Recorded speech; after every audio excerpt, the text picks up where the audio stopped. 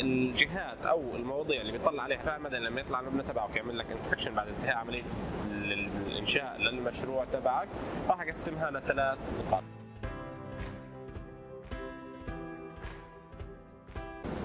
كمان بنعمل فحص اسمه staircase pressurization بحيث إنه يكون الضغط داخل الأدراج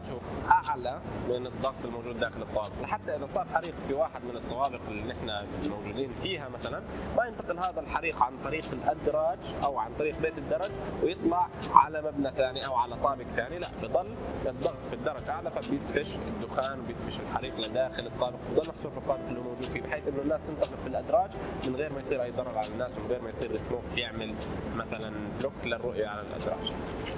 وطبعا موضوع إنه staircase pressurization test أو يكون الادراج ضغط الهواء فيها مختلف هو يتم العمل عليه في المباني اللي بيزيد فيها عدد الطوابق عن ثلاث طوابق.